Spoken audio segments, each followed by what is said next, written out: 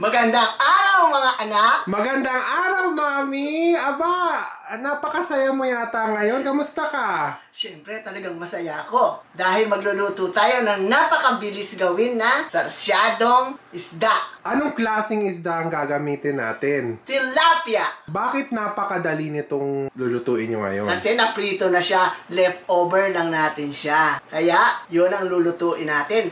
Dahil napakasarap na putahin nun. Paborito natin yun, hindi ba? Tagisa tayo dyan. O sige, magsimula na tayo. Sasabihin ko na sa inyo ang mga ingredients. Napakadali lang nito. Okay? Ito ang ating leftover na tilapia. Dalawa. Ito, ang isda nito, pwede nyo gamitin kahit na anong klaseng isda na leftover nyo. Pwedeng bangos, galunggong, kahit na ano, basta may prito kayong natira. Isarsyado nyo dahil napakasarap niyan. Ito kasi leftover namin. Nagpaprito kasi kami doon sa Filipino market. Kaya ayan, meron tayong na-imbak na dalawang tilapia na nilagay ko lang sa ref. Para hindi mag-go to waste, di ba? Para may food ka rin at nakatipid ka pa. O, para another, ano yung recipe yun, another dish. Hindi kayo magsasawa, prito na naman. O, sarsyado naman. May sarsa. Kayo, anong paborito nyo isda? Mag-comment kayo down below. Kayo ano? Tilapia, bangos, Ako chicken. isda. Diyan nakikita, idiot si Oliver.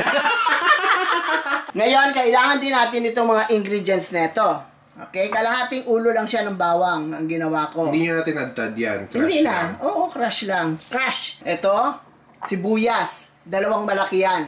Itong kamatis, anim yan na kamatis. Na chinap ko na rin. Dalawang itlog, babatihin natin mamaya yan, ibibit natin at ilalagay natin sa sarsa. More protein at saka pampaninamnam ng sarsa natin. Ang mga to taste natin ay ground pepper. Siyempre, mawawala ba naman ang aking chicken powder? Ngayon, tiyak na may aapilan na naman dyan. Bakit chicken powder? Eh, samantalang isda itong lulutuin natin.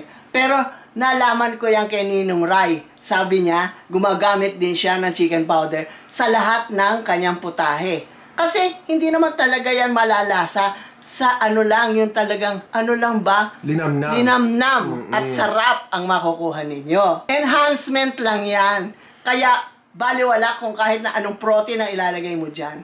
Dahil talagang, mm, pampalinamnam lang yan. Okay? At syempre, hindi mawawala ang ating patis. Lalagyan natin siya ng patis. Yan ang salt natin ngayon. Kasi, yung isda natin, naas na na yan eh. Di ba? Mm-mm. Nalagyan na yan ng, is- ng salt. Kaya lalasa pa rin yan doon sa ating sarsa. Okay?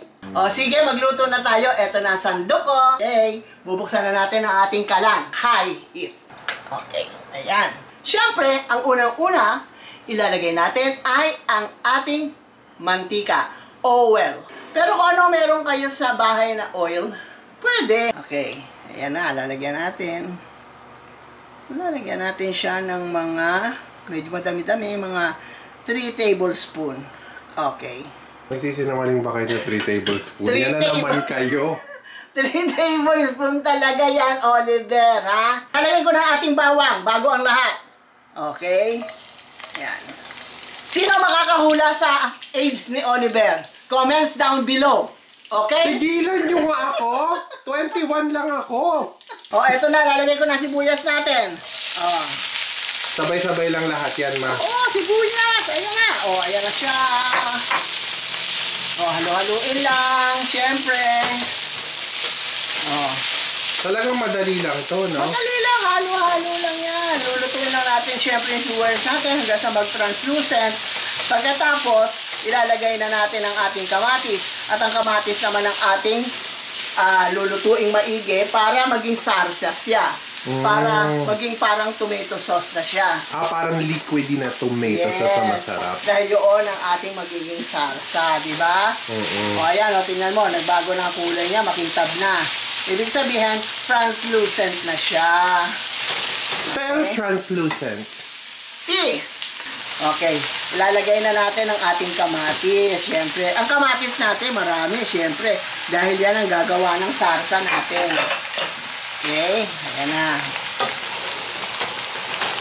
Ayan na, ilalagay natin siya. Halo-halo lang. Huwag kayong mapagod sa paghahalo dahil yan ang kailangan nating maging sarsa. Okay, mga anak? Sumunod sa nanay nyo. Maging mabuting bata. Huwag matigas ang ulo dahil may kalto kayo ng siyanse. Ay naku, napakasaya ng kabataan. I wish mga bata pa ulit ang mga anak ko. Talagang napakasaya.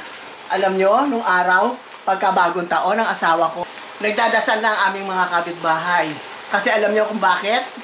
Kung bumili ng paputok ang asawa ko, dalawang sako. Kaya alam nyo, yung kapitbahay namin, sasabihin sa akin, matagal pa, mga one week before pa lang ng ano, ng bagong taon, sasabihin nila, Lulu, ha, halika nga dito, meron lang ako ipapakiusap sa'yo. Sasabihin ko, bakit? Ano ho yun? Baka naman pwedeng pakiusapan mo yung asawa mo. Huwag naman bumili ng masyadong paputok. Ay, eto na pala. Tingnan nyo, nagsasarsa na siya. Oh, ayan. Ayan, nagsasarsa na siya. Maya maya, lalagyan natin siya ng konting tubig. Kasi siyempre para gumanda yung sabaw natin. Okay? Pero ang ganda ng sarsa natin. Lalagyan natin siya ngayon ng konting paminta. Mga 1 teaspoon lang. Para lang medyo mawala yung ano lang, yung medyo nilansa ng konti. Ayan. Yung paminta natin, ha? Halo natin. Okay, halo-halo lang siya. Okay. Lalagyan na natin ng chicken powder. 1 tablespoon. Okay. O, ayan.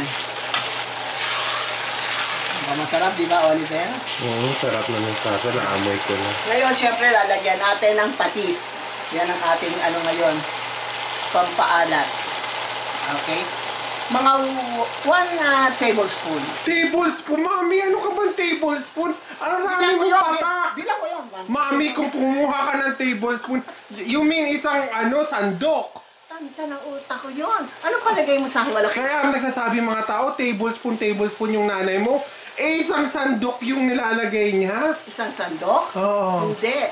Kayo ang mahina ang mata. o, lalagyan ko ng 1 cup na tubig yan. O, ayan ha. 1 cup lang yan ha. O. O. Pamparsasa lang talaga yung tubig dyan, Oo, ma. pampaano lang yan. Para magkaroon ng sabaw. Siyempre, gusto mo may sabaw-sabaw ka sa kanin mo, di ba? Mm-mm. O, ayan. Ah, mga 10 to ah, mga 10 minutes, 5 to 10 minutes yan. Tapos doon ilalagay yung lalagay itlog. Oo, lalagyan natin ng itlog, tapos lalagyan na natin isda. Ang isda, sandali lang yan. Pagka medyo nakita nyo medyo malambot na, luto na yun. Aba, may kanin na ba kayo? Siyempre. ako pa! Alam mo naman, I can't live without rice. Na-miss nyo ba ako? Na-miss ko kayo. Pinagpahinga ako ni Oliver ng gusto kasi nagpapahinga rin siya. My mom deserves all the break. Kaya sa mga taong hindi pa nakakaalam, nag-break ang nanay ko Oo. muna. Tsaka si Apple din. Tsaka ako din, syempre. Nagpahinga kami talaga. Nagpa-beauty kami ng gusto. New Year Rejuvenations. Oo nga. Ano? Spell Rejuvenations. Re. O, ngayon. Ayan. Sabi mo, wala pa nga 10 minutes eh. Wala nga 10 minutes. Sabi ko, 5 to 10 minutes, di ba? Hmm. Ilalagay na natin ang ating isda. Ang sarap. Ayan. Ngayon, kung gusto nyo, pwede nyo gawin to siyang fresh. Yung pa-fry mo that day, tapos lalagay mo dito. Pwede, oo. Ikukul mo lang dapat Oo, pag ginawa hindi, mo. kahit hindi mo ikuli kasi Diretso na. magigisa ka pa naman eh. Habang Oo. nagigisa ka, lalamig na yon. Pag lamig nun, by the time na lumamig Masarap yun- din to sa galunggong. Ay, oo. At saka dalagang bukid. Mm-mm. At saka the best sa bangus. Mm. Sarap sa bangus yan. Ngayon, habang kumukulo siya dyan, babatingin ko ng ating itlog. Dalawang itlog lang syempre. Ayaw naman nating maging, ano na yung sabaw, mawala na. Kasi syempre, nakakapagpalapot itong itlog. Kaya tama lang yung dalawang piraso ilagay natin. Ngayon, babalik rin natin yung ano natin. Yung isda natin. Medyo ipapasoften nyo lang Oo, di ba? syempre. Papa, ano lang natin ah. Ayan, oh, ayan, oh, may, malambot na siya, oh. Oh. Alam nyo, masarap din to maybe sa ano, sa isda Mm. na walang tinik. Yung parang maybe salmon. Filet? Yeah, na filet. Oo. Pwede rin kaya? Pwede rin palagay ko. Tilapia filet. Hmm. Oo, pwede. O kaya yung labahita, yung nabibili sa palengke na tinatanggalan talaga ng tinik. Mm-mm. I-slice lang siyang ganon. Lalagay na natin ang ating itlog, ha? Ayan na. Lagay nyo lang siya. O, yan. Oh.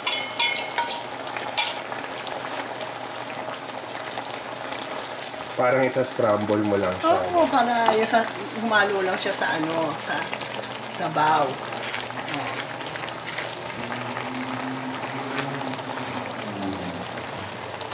Oh. Oh. Ngayon, pwede na nating patayin ang ating sarsyadong tilapia.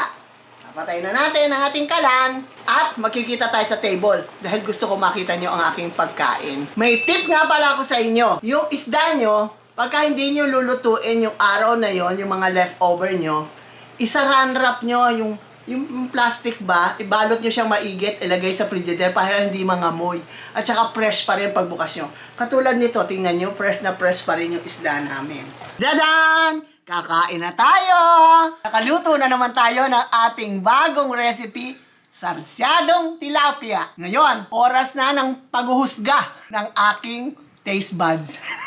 Kailangan ko na siyang tikman. Okay? Excited na ako. Dahil paborito ko to.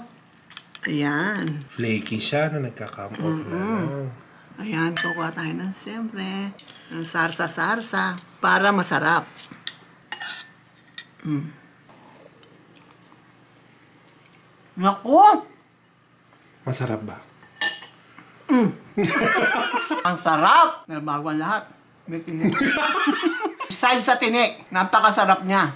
At flaky-flaky heart siya. Masarap talaga. Para sa pangalang, pwede ng ulam eh, kahit wala na isda eh. Oo, yung itlog lang, no? Mm, kailangan natin kumuha.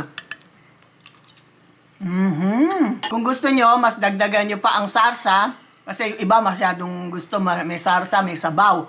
Pwede nyo ring dagdagan. Walang problema yan. Mas masarap nga pagka maraming sarsa. Pero kasi kami dalawa lang ni Oliver ang kakain. Kasi ang gusto ko talaga dito, ang preference ko talaga, yung malapot ang sarsa niya. Yung thick na siya, hindi ka na talaga mag sasabaw ng marami. Kasi dito sa amin, palagi natitira ang sabaw. Kaya ayan, tamang-tama lang ang pagkasarsa niya. Ilalagay mo lang siya sa kanin mo. Ayan. Mm. Mm. Okay, nakatapos na naman tayo ng ating recipe. Sana nagustuhan nyo at makapagluto rin kayo ng ganito. Tandaan nyo, kahit anong isda ang gusto nyo, pwede nyo ilagay. Basta prito na. Don't forget, likes, comments, and subscribe. Ijots! Ay, kakain na ako. Sarap-sarap. Hindi para sa'yo yan, Oliver! Pa, eh, akin to, di ba yung isa? Kay Apple na lang yan eh! Eh, nasan yung sa akin? Eh, wala naman siya dito. Bakit sinabi mo ba kakain ka? Napakasama niyong ina, ma.